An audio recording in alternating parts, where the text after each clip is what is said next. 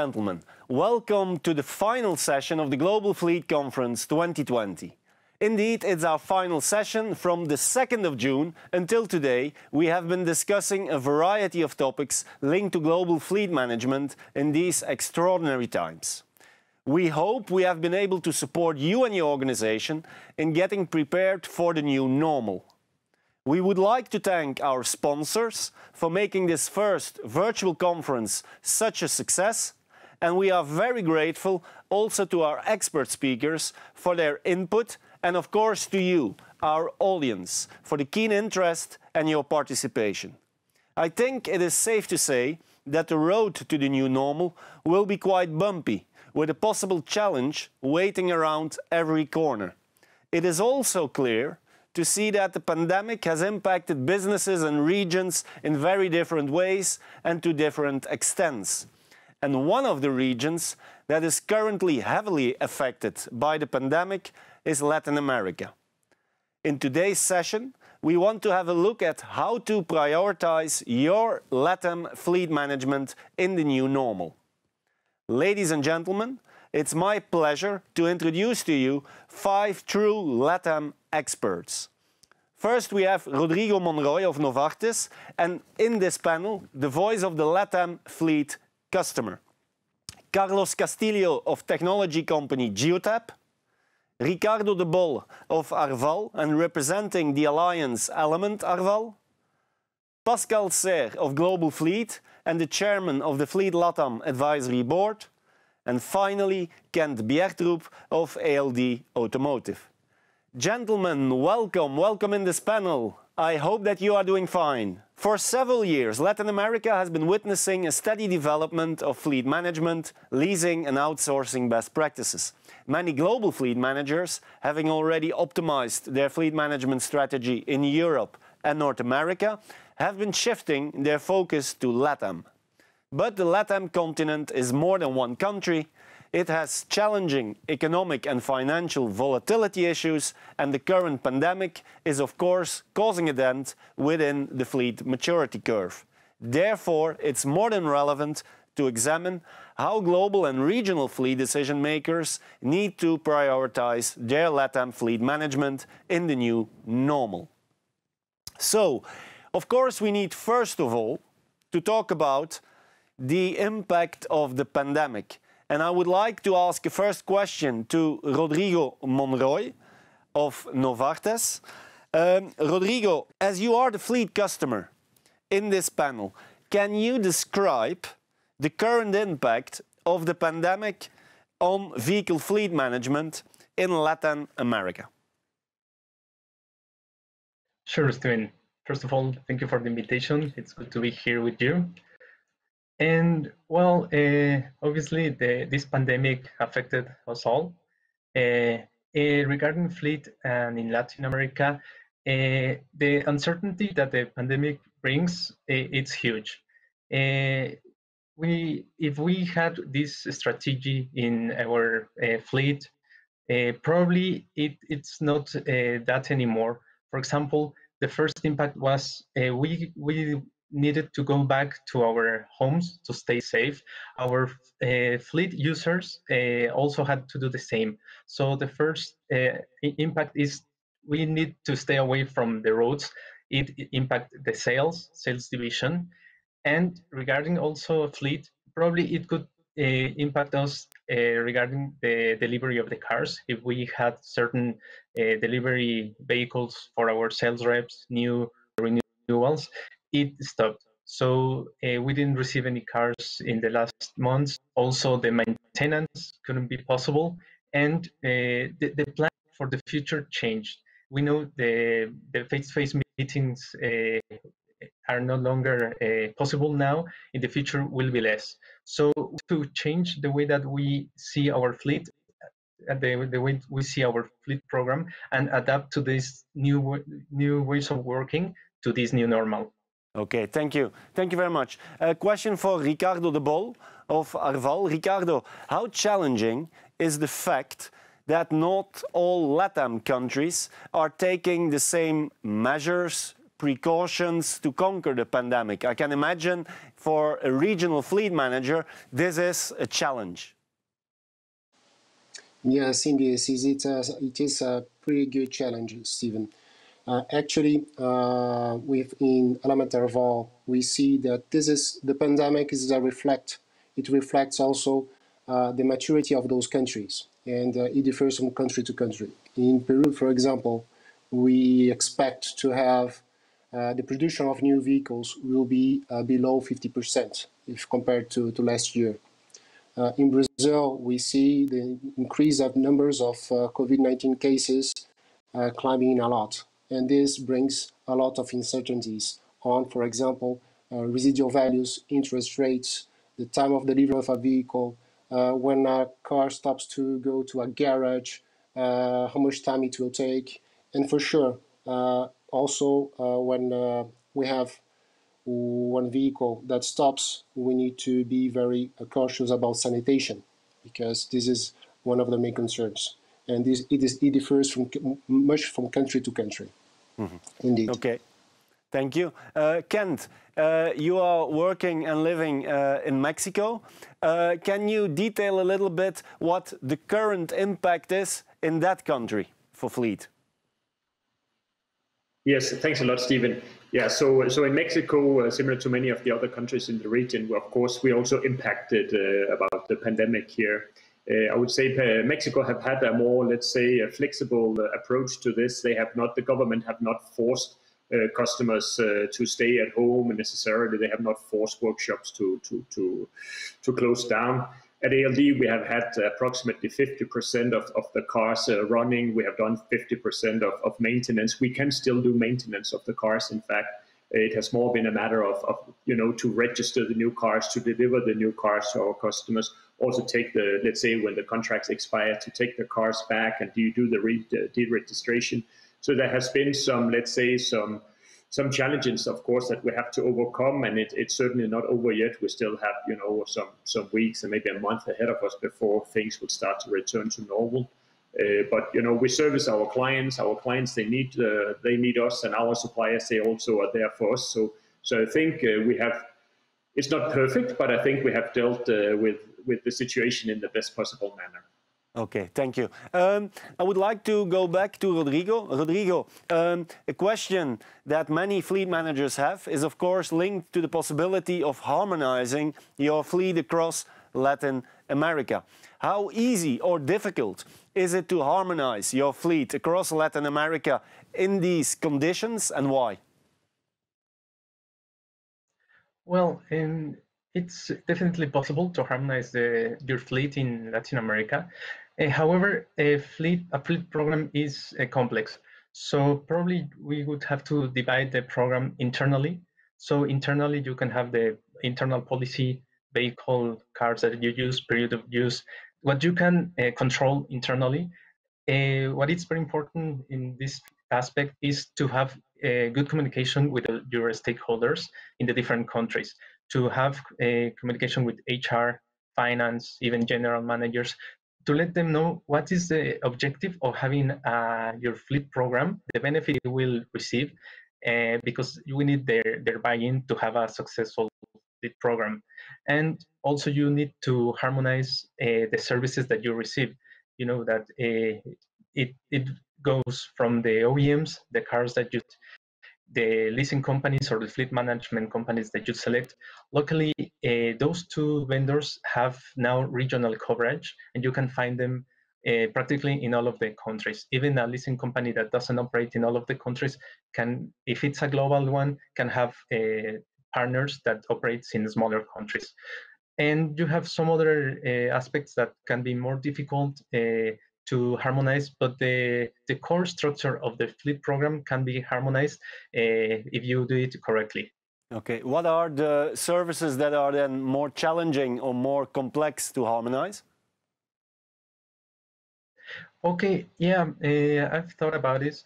And for example, uh, I, have worked in uh, global or in this case regional RFPs of insurance companies, and uh, you cannot have or it's difficult to have one vendor, one insurance company in all of the region.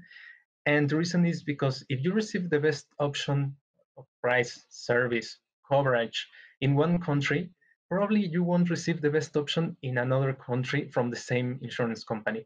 So for the second country, it would be difficult or it wouldn't uh, make sense to have the same insurance because mm-hmm. each of the countries would want the same, the, the best offer. That's regarding the insurance and probably also fuel. Uh, the fuel program it's uh, it has a lot of potential in terms of spend as you know in terms of, of rebates if you can uh, have one vendor but it happens kind of kind of the same. If you have one big player that has a lot of gas stations in their program in one country probably uh, it doesn't have the same uh, coverage or the same structure in another. So that's kind of uh, one difficulty that i see in the region. Okay good. Uh, carlos um, of geotab uh, how easy is it to harmonize telematics program across Latin America? That's a very, very good point, and thanks for having me here. So, for example, I think because the, the amount of telematics is really software that is connected, is you can have the same software in every country. So that's actually that helps a lot in our industry. And I was just thinking about Rodrigo's example of you know fuel and insurance that are so different. For us, is it's the same. No, it's the same software, the same solution working everywhere uh, comparatively as maybe in a couple of years ago was the iPhone. You say, well, they're the same thing exactly. We do the same. So, so yeah, I, I think it's easier, less of a pain. Okay. Um, Pascal, in what way has COVID-19 led to additional complexity when it comes to harmonization and optimization. I think perhaps that in LATAM we know that there is, let's say, a difficulty or complexity in terms of exchange rates, impact, interest rates, and so on. So I can imagine that COVID-19 is perhaps even putting an extra layer on the complexity. Well, the COVID-19 is certainly creating uncertainty. Uh, well, an uncertainty is there also because uh, at present time, Latin America is at the peak of the crisis, not like in Europe where we are coming out. And we don't really know when uh, the crisis will, uh, will be over. Um, the complexity in Latin America is that the currency tends to be weak. So there is a depreciation and depreciation has been very high in March in some countries. And then interest rates are also going up. So um, harmonization is difficult. And if on top of that, you're adding uh, movement on interest rate and you're adding uh, depreciation, it's even more difficult to control your costs. Okay. Good. Ricardo, um, have you something to add to what Pascal was saying? Is there something that you can say about the complexity of harmonizing your fleet management across Latin America at the moment? Yes, yes, it is. Uh, as uh, Pascal well mentioned, uh, first of all, we are not at the same level of maturity as in Europe and, and North America. Uh, the, the countries, the GDP of those countries uh, are not at all at the same level as well. So it brings much more complexity on dealing with uh, such big disease that affects all the population. So on top of interest rates, the, the OEMs, we can also mention the OEMs. We have big industries in Mexico, in Brazil, in Argentina, uh, much less in Colombia, but Peru, Chile, Bolivia, they don't produce any vehicle. All vehicles needs to be imported. And uh, how, how to deal with that. So each country is much different with the other, and uh, for sure COVID-19 uh, brings a lot of complexity for those countries.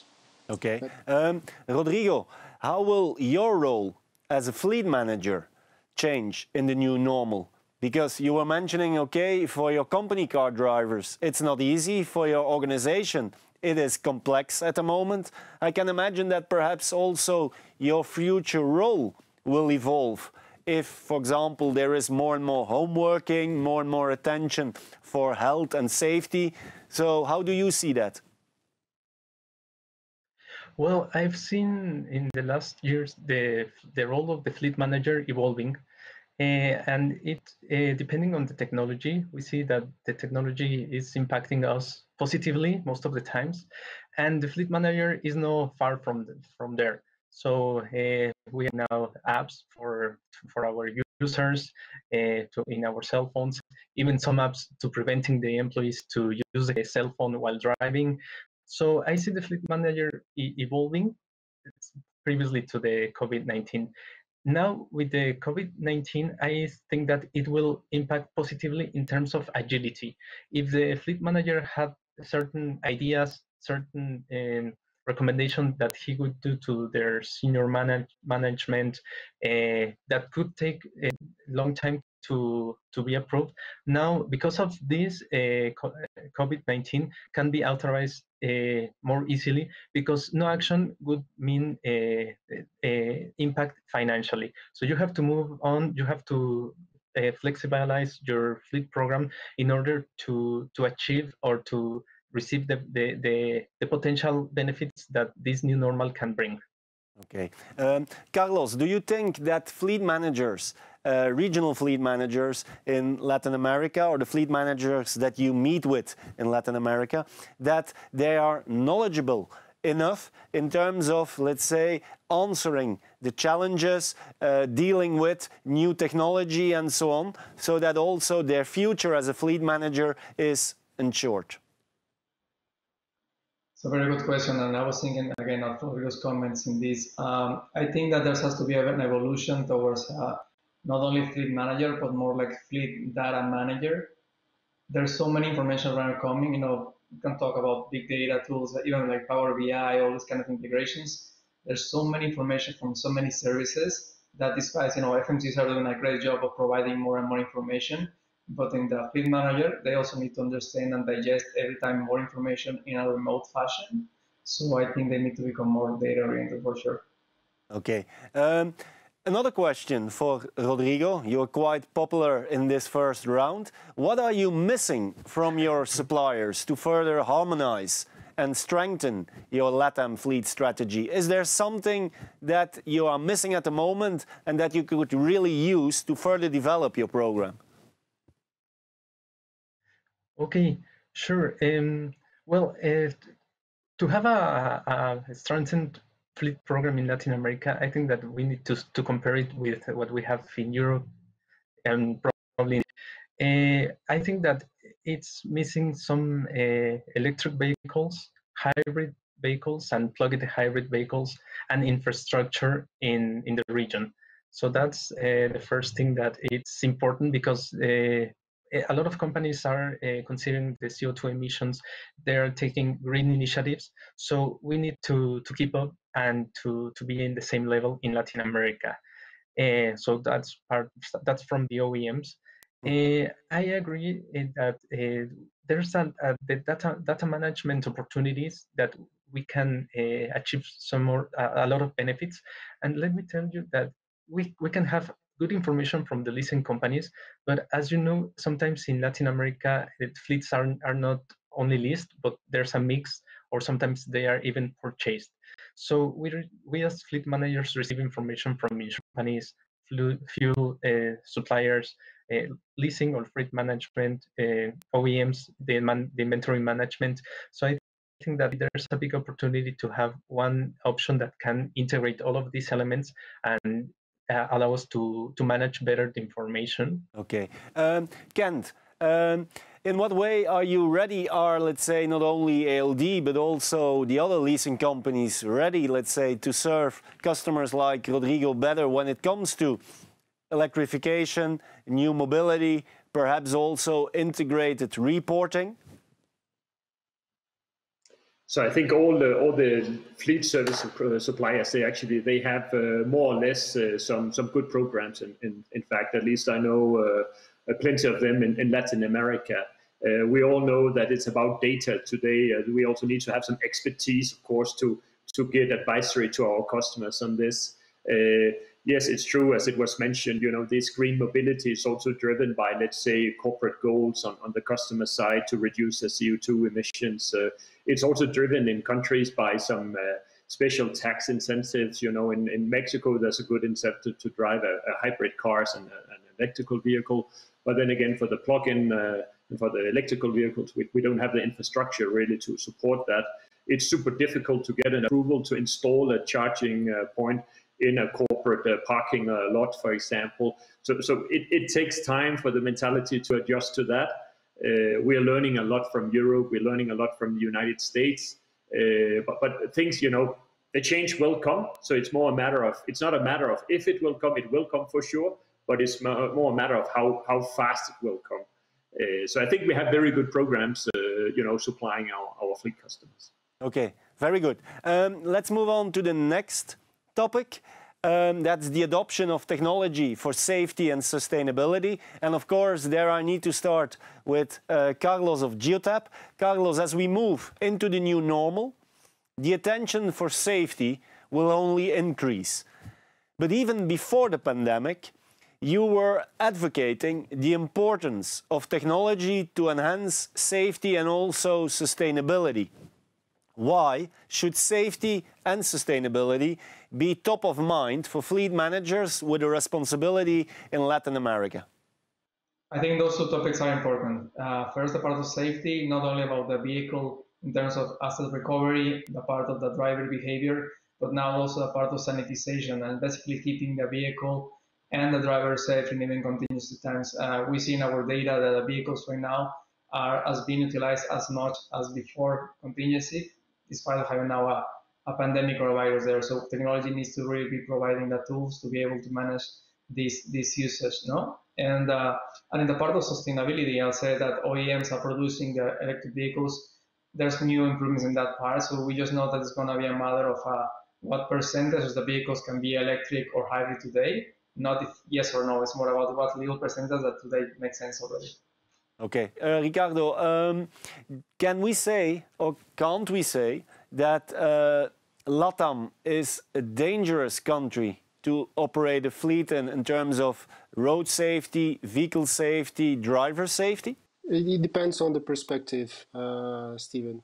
Uh, if we compare to uh, to the Nordics, for example, it can be dangerous for a Nordics person to say that in Latam is dangerous. But uh, if it, you take, we take, uh, we put in the right perspective, uh, I would say it's not dangerous. We just need to, to be careful. And uh, we see in, from the past years, countries like Brazil that uh, has changed a lot it law, their laws on safety. Uh, so all the vehicles produced by Brazil needs to have double airbags and ABS and also in the upcoming years, ESP, uh, uh, traction control, and so on. We see also on the sustainability um, the new rules that are coming, and uh, we have ethanol in Brazil. We see some changes, huge changes in Mexico, with a lot of incentives for electric vehicles and hybrids as well. And uh, we see that that move. Uh, it is, it, it is changing, but it will take time uh, to, to implement all those things. But it, I wouldn't say it's dangerous. Uh, I think it's a strong word. Good. Uh, would like to come back to Carlos again. Carlos, what are for you the key steps in rolling out and implementing a safety program? I think that the first step is basically to, if you want to be doing a good management, you have to measure things, no? So first you're gonna de design exactly what you wanna achieve. Then basically implement the technology and then have a, a follow-up and a feedback. So in this way, you're to be able to say, in my example of my world telematics is saying, what are your current levels of safety or accidents and all this kind of accident behavior. And from there, just take the measures and control it and see uh, this improvement towards a baseline. So I, I think with very hard data is the best way to be able to measure the, the benefits, no? Okay, Rodrigo, um, do you have a strict safety program that includes multiple countries in Latin America? And how did you go about it to develop it? You need to first uh, define what safety requirements you implement and you require for the cars. Uh, once you have the safety requirements, you need to then go to the next steps. And I think uh, uh there's an opportunity in the collision driver assistance that we can have in the vehicles in Latin America. That's one part. Uh, additionally, uh, the safety training program is essential for, for any fleet manager. It's uh, you have to make sure that the, the driver that uses your car has the skills and the measures to, to be safe for his own. So that's why it's important to have a good safety training. Currently, it's there's a tricky part because if you have a behind the wheel uh, program, currently with the pandemic, probably you don't want your drivers to be next to another person. So there's uh, the training program could change.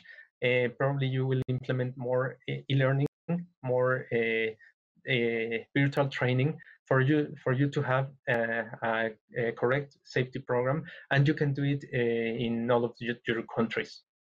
Okay. Kent, uh, do you see also with your customers that they ask more and more about what they can do and what is possible in terms of safety management and safety training?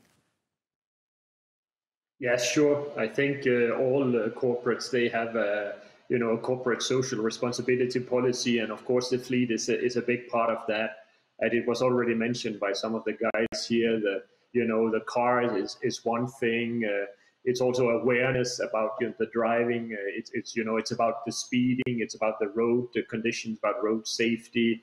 Uh, you know, in some countries uh, you don't even have to take a driving test uh, like we do in Europe, for example, to get a driver's license. You know, you start very young with with and, and then you you're given the, the car keys and then you go along. So I think at least we see with some some customers that, that actually you know they have corporate standards uh, that they put in place because they know that in some of our Latin American countries, the, the, the requirements for a driver are not very high. You know, on our side, uh, we see also that we also advise uh, some of the big corporates that they actually do a driving test. We have suppliers who can who can run a driving test for the drivers before they actually get the car keys for the new leasing cars. Uh, so I think it's it's very high on the agenda, to be honest, and, and it was there long before COVID nineteen. Uh, but it's definitely there to stay. You know, there's specialized uh, safety driving uh, companies, and I think all the both a, a fleet customer and a, and a, fleet service supplier, we work with these specialized agencies and, and, and customers. sorry, suppliers. So, so, so it's a big thing. It's a, and, and, there's also some way to go until we actually reach the level of, of the United States and, and Europe. Good, uh, thank you. Uh, Carlos, how to adopt the right safety and telematics technology across Latin America?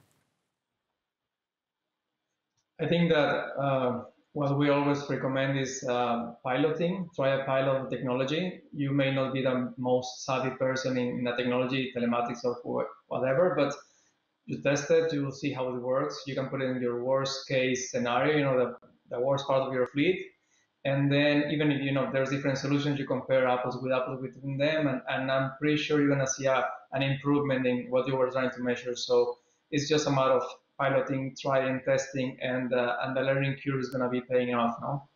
Mm-hmm. Okay, um, Ricardo, uh, don't you have customers that, if you talk with them around vehicle telematics, that they have questions about the return on investment, about the cost? And what is then your answer to them? This is a very frequent uh, uh, uh, question, Stephen. Um, the investment will be paid or not. But I would step back on your question. Uh, what is telematics? Because what we see in LATAM is that uh, telematics is more seen as a track device. And uh, actually it's not. Telematics brings to the company many data uh, to, and you need to be prepared to also analyze all those data. And uh, last but not least, once you have all those data, you need to implement or to take actions. And this is this is when it comes that uh, you need to be prepared yourself as, as a client, as a company, and have uh, a strong telematics provider and possibly uh, a good fleet manager to analyze all those data and to implement in, inside your company. Okay, thank you. Um, Kent, Rodrigo Monroy already mentioned that he would love to have and to see more green cars, electric cars in Latin America. Mm -hmm. Does it really make sense to go green and turn your fleet strategy into a green strategy? And if so, how to do it? Yeah, so it, it, again, it, it, depends a little bit on the perspective if it makes sense or not. Uh, I would say it always, you know, from a, from a climate point of view, it, often does at least because you know the fuel consumption is low and less uh, emissions and all this stuff. It's tax driven in some countries as well. Uh, it was already mentioned here several times, and in Mexico, there's a good incentive for in terms of taxes for road taxes uh, to go green. Uh, in uh, in Brazil, it's uh, it's a little bit late coming as well. You know, these hybrid cars and electrical vehicles, they were normally imported, and, and there's a high import tax. And then let's say the total cost of ownership is not in favor, but still that you you have a positive impact from from the from the less emissions coming from those cars we have some uh, some tests all over Latin America. We have certain in in Medellin in uh, in Colombia they are very advanced, so they have a lot of green cars, and whereas in Bogota it's less. So even within the countries in the region, uh, there's differences.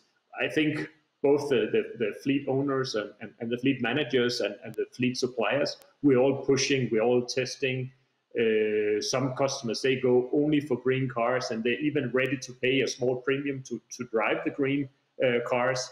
Uh, then and, and and then there's of course customers that, that take the cheapest the lowest uh, possible price lowest possible to, total cost of ownership and then they go with that. But we see like we have seen in europe we are a little bit behind and that's in america but as we have seen in europe we, we, we start seeing an increase uh, of the green cars. Still, electrical, full electrical vehicles, it's it's less, uh, but but hybrid cars, it's it's it's coming uh, it's coming fast now. I think. Okay, Pascal, um, you have a global fleet experience.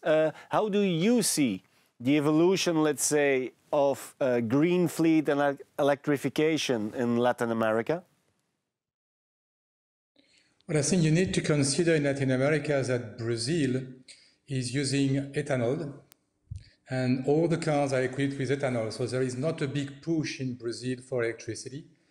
But in some countries, like uh, Kent mentioned, Mexico, Colombia, and Chile, there are a lot of initiatives. And the fleet managers we are talking to are belonging to companies which are their headquarters in uh, Europe or the US. And one of their first priority is to move to electricity. So I think that uh, this will happen. And we can already see uh, some pilots of fuel electric taxis and buses option, which are being launched. Recently, a tender in, uh, in Colombia for electric buses. So this will come, maybe Brazil a little bit later. But then another issue is a lack of offering from the manufacturers of uh, electric car at accessible prices, because this is a bit expensive. But we know that uh, many fleets in, uh, in Mexico are trying to move into uh, hybrid or electric car to avoid the ban that the government, that the uh, municipality is putting uh, because of contamination. So it will happen as everywhere else in the world. Okay. Um, Carlos, um, again to you. Um, you are, of course, advocating safety and sustainability. You do that via technology. How to make sure that company car drivers are positively responding to the green fleet strategy with the right driver behavior. Do you have any tips? Yeah, yeah, of course. I think that first start with a fleet manager. The moment they understand more how this is gonna benefit the fleet, and Pascal, as Pascal said, no, like it really needs to make sense in terms of the vehicle they're gonna be choosing and the TCO and all the part of really making that, that CO2 part, but also the incentive part of a a commercial pricing of it. So once the fleet manager understands that it makes sense, then we go towards the, the driver. And the driver is really about the first the policy, that the policy of the company, they need to adapt it. And second, uh, the implementation of it with technology is a part of driver behavior. So you start to implement driver behavior and gamification in the drivers, and you start to explain, okay, so you've been using this vehicle, which is a combustion engine, and then they change into a new vehicle, and then show the, the, the benefits one of the biggest benefits we've seen so far is that the part of maintenance. So it's going to be way less maintenance in these kinds of vehicles, you know, because there's less components in the overall. So we see that actually the drivers like it more at the end and they have to be less time in the maintenance shop.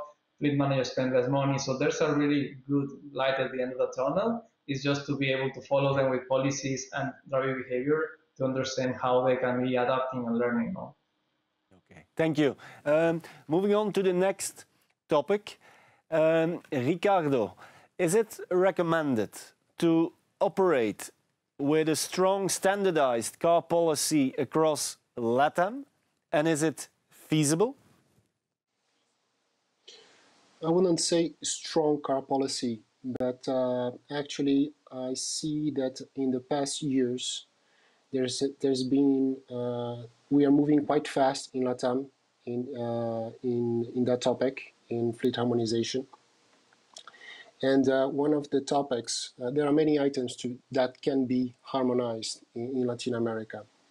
Uh, one of them, for sure, is who is eligible or not. Uh, we also need to consider the, the financing mode. We have different financing. If you look at fleet management in Latin America, there's different ways of financing your fleet. we have open-end lease, uh, hybrid system in Mexico, close-end lease in the rest of the countries. We look at Argentina, high inflation. Uh, but even though there, uh, you can harmonize the way that you finance your fleet, you can also harmonize your CO2 emissions, like Pascal just mentioned about Brazil on ethanol. Uh, we have incentives in Mexico, uh, Colombia, and Chile as well. So those are the things that uh, can be harmonized. Yes, Stephen. Okay. Um, Kent, um, what are the, for you, the particularities regarding car policies in Latin America? Can you share some things that you have seen uh, within your experience in Latam? Yeah, so it's as, as Ricardo mentioned, it's uh, it's not you know it's not uh, all or nothing. Uh, you still have you know Latin America is, is a huge uh, is a huge uh, region, uh, we fly between Mexico and, and Sao Paulo in nine or ten hours. So so the region is is is big. So it's you know it's not exactly the same, but we can of course we can of course let's say adjust a com company car policy to the region. Uh, but but again, it, it, goes down also to, to local specific uh, local incentives. You know, we talked a lot about taxes, ethanol, and all this stuff. Uh, there's some uh, some fleet, uh, some of our big customers. They actually have by themselves. They have big uh, agreements with the OEMs where they buy uh, two or three uh, makes and, and then they try to do that. we have leading OEMs differently in all the countries, so so they are they are also strong in one country maybe less strong in another country. Um, uh, so, so we can harmonize, but but you know we don't recommend it to do it black and white because then it, the total cost of ownership will not uh, be able to justify that. Uh, but we can definitely have, you know, we can have petrol cars, we can have even diesel cars, we can have green cars in all the countries. Uh, but, but it's more if it actually then makes sense. If it's, let's say, if, if, if the if the equation is strong enough to do that on a regional level, or it's more, we can have some 20% flexibility to actually adjust to the local specifics of that uh, individual country. Still, the biggest fleet market in, in the region it's it's Brazil, uh, Mexico, and Argentina. So of course, you know, whatever rules in those uh, three countries, that's that's you know they have more weight in, in the Latin America American uh, car policy.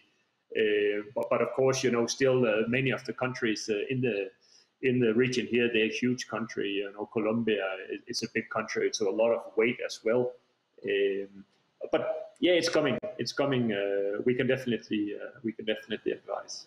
Okay. Um, Rodrigo, are you planning, uh, due to the pandemic, for example, to extend your car policy that you have with some uh, add-ons like uh, things around home working or flexible working and so on that you also need to include now perhaps with the car policy that you have? Well, uh, for sure, we know that uh, some changes will come we need to adapt to the needs of our users. So definitely uh, we will consider those needs. Uh, if a sales representative needs to uh, some additional safety uh, inside their, their cars for due to the pandemic, if he will use less the car uh, we will uh, talk to our vendors to see how we how flexible we can be and to adapt to the, those needs. Uh, we we know that they will use more uh, virtual uh, conferences. They won't uh, visit so often the, the, doctors. So yeah, we cannot stay the same due to this all these changes that we are seeing. Okay. Um, again, going to Kent how to deal with the fact that not all car brands and their networks are present and equally developed across Latin America? Because I can imagine Rodrigo was mentioning it in the beginning. Uh, optimizing, harmonizing OEMs, leasing vendors is one of the first things that you can consider. But we all know that you mentioned it also that not all car manufacturers are um, present in the same way, in the same, at the same level in each of the of the countries. So how to deal with that? Yeah, so I think it's it's it's where actually we as as leasing service or fleet management service providers, uh, uh, you know, we have few here in the call. It's it's where you know we should we have an obligation to show our true value because we have the expertise uh, not only at regional level, not even only at national level, but also uh, you know in, in regions of, of the specific countries. It, it you know we should not deliver I don't know 50 cars to uh, 50, I don't know, Chevrolet cars to a region where there's no uh, there's no Chevrolet uh, service uh, points, uh, so we cannot maintain the cars. Uh, we need to uh, we, we need to, to, to the customer say, okay, we want a specific brand, but yes, we understand it's it's, it's it makes sense in total cost of ownership in, in a capital, for example, but in that region where you need the cars, it doesn't make sense because you cannot maintain the car. Uh, or there's maybe there's problems with with spare parts. You know, during this COVID-19, of course, we have seen a lot of the OEMs actually having to, to stop uh, production of both cars and spare parts. Uh, so there's constant monitoring on, on our side as well to make sure, you know, what are the supply chains? Are they open now? Are they not open? Of course, also with with you know with crisis comes opportunities. So so the OEMs they are super desperate to get some cars sold. So so there's some good deals also now to to get for new cars. But then again, the whole supplier network around those new cars. It needs to be in place. Uh, you know, many of these car dealerships and, and, and, and, service points, they are they are not owned by the OEMs themselves. They are private uh, business people having those uh, dealerships. But at least when I walk around in, in Mexico City, I see a lot of these show, showrooms. They have actually closed down now, and then the showrooms they are up for rent. So, so the you know it has an impact also for for the network of, of the car dealers. Uh, you know, we do uh, we do an update uh, regularly that we share with customers to, so they are informed. You know, what is actually going on with with the with the OEMs on, on that side as well. Okay. So it, it's I would say right now things are moving fast. Okay, good. Um, Carlos, how to deal with differences in cultural preferences across LATAM? I can imagine that also it's not one country, also the people probably have some other priorities and cultural preferences. How to deal with that in a fleet management setup? I gotta say it's uh, it's fun for sure. Uh, we have this old concept, you know, like local, like global and local. So we really seen in our side that it's about having local partners uh, that you know also FMCs have. You know, they have this local partner who can be able to speak the local language, understand the local taxing, understand everything, you know, in terms of currency and everything's happening. So really the cultural preferences is to really be local, be local with that place. And then you move to the next country, you also going to be again local. So once you are having the local slang and be able to speak with them, it's when really you get business done. It's amazing for us and for me being a Mexican, when I start to go to Brazil to understand how it's all different and even despite of the language, uh, there's this whole Latin America essence of being more you know candid and more you know more, more but at the same time that is uh, is different business so also that you always need to be local and and solve it by the local needs. Good. Um, the next topic will tackle long-term commitments or flexible partnerships? And let me start with ken bjertrup. Uh, ken first of all can you briefly explain how the pandemic has impacted the vehicle leasing industry in LATAM. We heard from Rodrigo Monroy before um, about what for him are the challenges, but you can also comment on what the impact is for the leasing industry. Yeah, sure. Yeah, so of course, this uh, let's say the the pandemic has has made a huge impact. Uh, so I mentioned earlier that that there's difficulties to actually register cars and deregister the used cars. It, it's something that impacts it's also our customers say they see a, lot of uncertainty uh, coming forward. Uh, they might hesitate uh, customers to to commit to to a three or four year lease of, of a new car.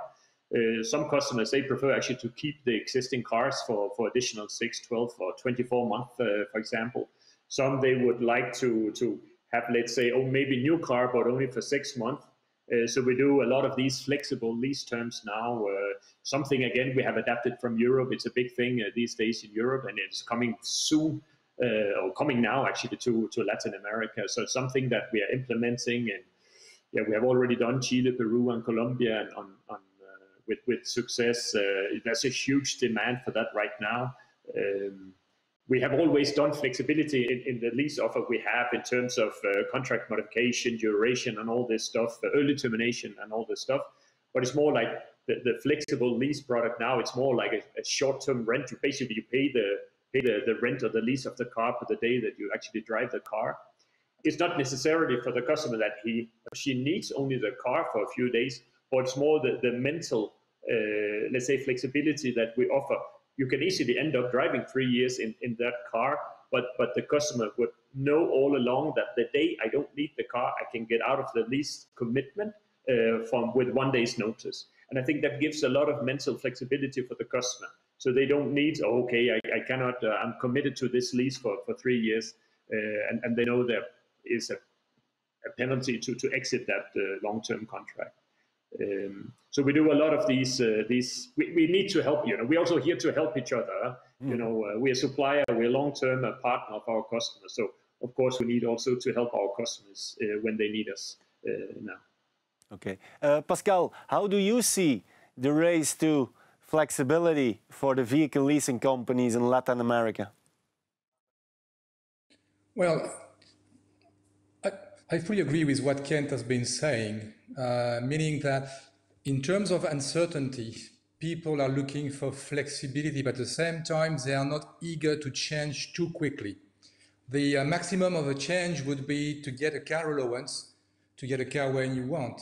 But I think that this is a bit of a dream, and I don't think that this will be happening because one of the major threat of COVID is to be infested. So people are still happy to have their own car. So I think that the flexibility that we will see in the near future is the one that Kent has been describing. So keeping your car a bit longer or getting a contract a bit shorter. Then a lot of people will be discussing and trying to find a combination of different possibilities, but this will be a medium-term future. And I think for now we are still uh, in uh, living in the same way that we used to, be, to live in the past. Very good. Ricardo, um, some of the um, leasing companies, many leasing companies in Europe, are suggesting extending leasing contracts to their customers to overcome some of the financial challenges, the delivery challenges for new vehicles and so on during the pandemic. Um, how long do you think that you need and can propose to your customers such contract extensions? Or do you think that it will even be, let's say, more of a permanent element that contracts can perhaps evolve to become longer? Stephen, pretty good question actually. And this is not only related to COVID 19. Uh, we, uh, we need to, to take in consideration that uh, in Latam the, the market's not so mature. And we see that uh, leasing contracts are uh, renting, uh, long-term rental. And when I began in that market about 15 years ago, the average contract duration in Brazil was 12 months. So when we talk about contract extension, I think that uh, this is in a natural way, and this is how uh, large uh, fleet management companies like ALD or Arval, we have that as a core product based on TCO. And since vehicles, uh, many employees are working from home, we have less mileage. Having less mileage, uh, it's a good way to say let's extend your contract because you're not using what you are you have subscribed. So it's natural. And uh, uh, also the, the, part of that topic that we are discussing is long-term relationship. And the long-term relationship is based not only on things that are doing well, but when we have issues or problems like we have now, and we need to work together to find the best solution. And one of the best solutions is for, for our clients uh, to pay what they are getting. And uh, if they are not running uh, with the vehicles, it's, it's natural to say to extend the contracts and make head contractings. Yes. Okay. Um, Rodrigo Monroy, are you in favor of extending your leasing contracts and or are you, let's say, in favor and positive about more flexible solutions for your fleet? I think both. what I think in the short term, uh, companies will extend their contract contracts for some months, probably six months, and then they will evaluate and uh, to see what's happening and recalibrate. The uh, companies will will see how the sales are internally, what's the budget that they will have, and then to see really what will be the, the need of the of the company. And at the end, uh, probably the best approach in the midterm will be to have flexible contracts because if you don't have certainty in the amount of miles that you will have in the period of time that will be the best for you to use, uh, you will probably choose a flexible contract. Thank you. We need to move on to the final topic of this uh, panel discussion, and there I would like to start with Pascal. Um, Pascal, um, COVID-19, of course, has an important impact on fleet management, but also, let's say, on the way that we are using mobility and that perhaps some trends are emerging into the markets. So the question for you is, could it be that in a less mature market like LATAM, that the return to the new normal with the impact of COVID-19 will perhaps accelerate some of the trends that the market is not really ready for? Yes, that is a possibility. Uh, what I would like to uh, underline is the success of some mobility uh, initiative before the COVID, because Latin America is probably around the world the continent where e-hailing solutions have been uh, most successful. If you take, for, for instance, Uber, they claim to have around 40 million active users, 1 million drivers, and a presence in 200 cities. You take 99, the competitor of Uber, they claim 15 million customers, 300,000 drivers just in Brazil. And then you take Cabify, which is the third one. They've got uh, 14 million users and have a presence in more than uh, 100 cities. So e-hailing solutions are really working very well in Latin America for many reasons. One is public transportation is not very good and safety is very bad on regular taxis. Then you take the uh, bike, bikes and electric scooters. You've got a company called Grow Mobility, which is a market leader in Latin America. They claim to have more than 10 million rides and a presence in 23 cities and more than 100,000 devices. So there are a lot of solutions happening in Latin America for many reasons. Traffic jams in the big cities, safety reason, which we talk about, and there is a last one, which I think is very peculiar to Latin America, which is what we call BRT for Bus Rapid Transit. And this is traditional bus running on rail stations uh, to avoid uh, traffic jams. So we can see that there are plenty of initiative, and I think, and this is interesting to listen our participant, how uh, fleet manager will use uh, those possibilities and how leasing company will merge company cars with other solutions. Okay, thank you. Uh, let's then go to Rodrigo Monroy. Rodrigo, what kind of new mobility solutions are on your list next to the company car? Well, as I mentioned, we cannot, we as fleet managers can adapt. And one example of this is, for example, in Mexico City when we had this uh, pollution restriction, and we couldn't use in some days up to 40% of our cars. So we moved rapidly, and we did use uh, the the hailing uh, options such as Uber, Lyft. Uh, so future, I think that that's uh, some possibility but in terms of safety, we can we can we have to be careful. No, I think that uh, we would need to make sure that we use the the correct uh, vendors to take the correct measures. Uh, because if you put your employees, if you offer them some other kind of mobility, but without taking in account the, the safety measures, can be uh, dangerous. So yeah, we will be able to use some additional T options. For example, bike is starting to, to be used in a lot of cities, and, and the, the transportation publicly they are open roads for to use a bicycle.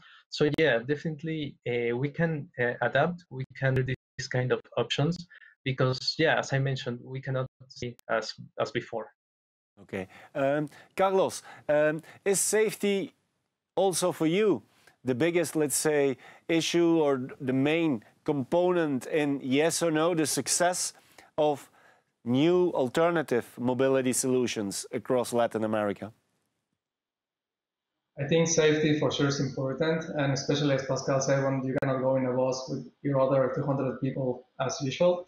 But there's there's also other components because right now, example, all the restaurants that were not able to deliver products because they were closed, this kind of last mile delivery, it's, it's expanding crazy. So this is a kind of trends that are going to move in the ride hailing or products offering. It's not only, if you see the app of Uber today, Uber is showing that they are delivering people and also products. So they became a, a last mile delivery company.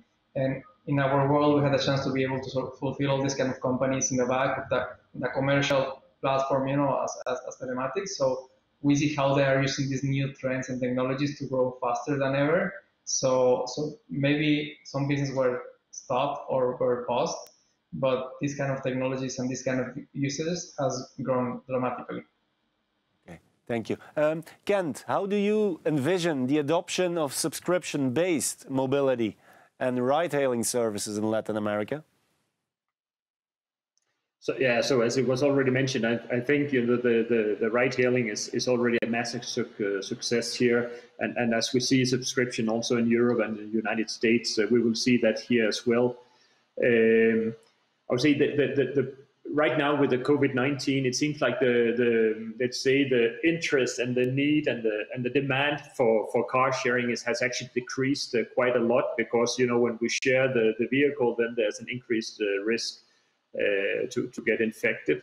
Um, at least, you know, we have been uh, looking at a few options for, for the car sharing, but we have uh, put it on hold for the time being because there's close to zero demand on, on that one. Uh, so yeah, the, the, the ride hailing of Uber, Cabify, and, and the likes, uh, that's that's a big thing. Uh, subscribe, and it could also be from the car manufacturers. It could be, of course, from from our self leasing suppliers or, or, fleet management suppliers. Um, still to do it short term, then it would more be like six months. So then it's, it could be a mix of the flexible solution again with a subscription instead. But but car sharing, as as we thought six months ago, would be the next big thing.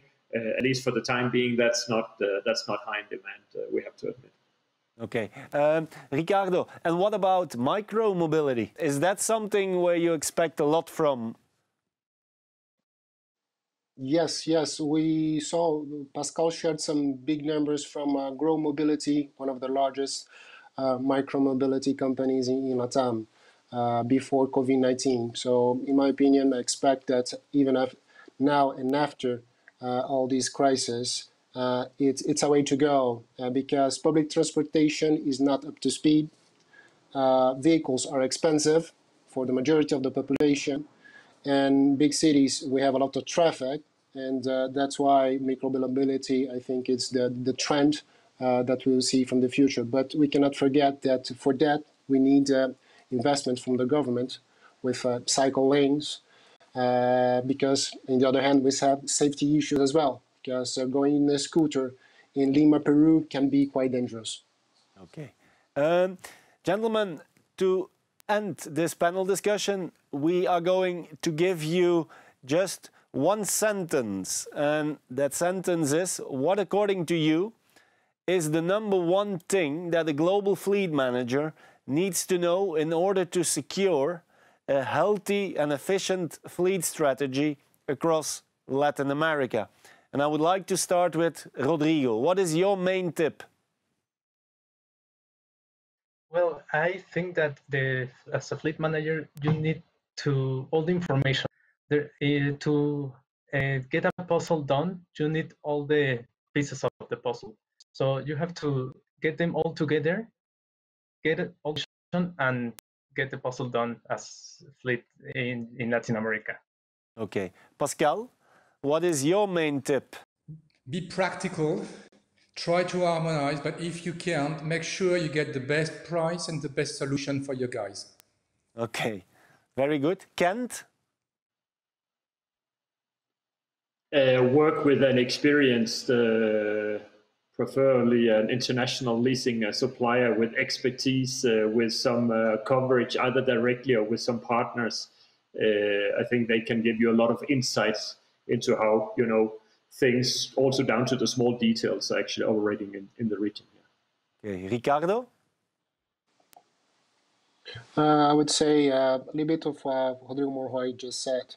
Get the puzzle done, and by doing that, be closer to your teams you need to understand uh, your your local the local specifics from from each country.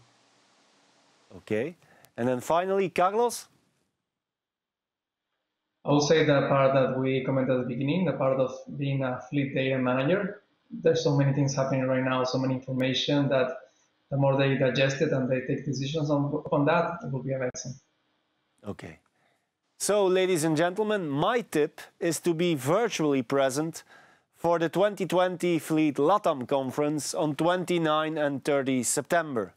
Indeed, after the successful first edition in Mexico last year, we would have loved to meet again face to face, but of course the pandemic acts as a major restraint, which is why, together with our sponsor Geotab, thank you very much Carlos, we have decided to go virtual with the Fleet LATAM conference this year.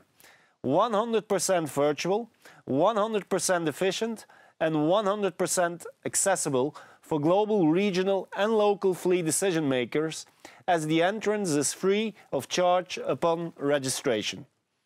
With different formats like panel discussions and webinars, this conference will focus with a positive spirit on safety on the first day, on 29 September, safety of the people, safety of the cars you manage, and safety on the road. The second day, on 30 September, looks at fleet management opportunities with a focus on connectivity, electrification, and mobility, also topics that we discussed today. So three key ingredients for a successful fleet LATAM management in the new normal. So, Carlos, how happy are you that we can indeed continue the Fleet LATAM Conference 2020, of course, in a virtual way? I think it will be great. We had a lot of momentum the last year. We saw so many good fleet managers and companies you know, in the industry being together. So if the new normal right now is to be online, let's do it. Let's keep the momentum, let's keep learning. So we are happy to be in this part of this journey. Okay, and of course we hope also to the other gentlemen that you will be present and that we can count on your support. So once again, thank you for your insights and your contribution to this panel discussion. And ladies and gentlemen, dear Fleet Manager, this virtual element will also be part of this year's Fleet Europe Awards competition with the Global Fleet Manager of the Year award. Where before we had mandatory face-to-face -face meetings with the finalists and the jury. We will now, of course, organize this jury meeting in a virtual way, maximizing the efficiency, responding to the travel restrictions, and increasing the possibility for you to join the award ceremony at the Fleet Europe Summit on 17 and 18 November. So we are looking forward to your participation. You can always contact me if you would like to have more information. And so looking forward to your application.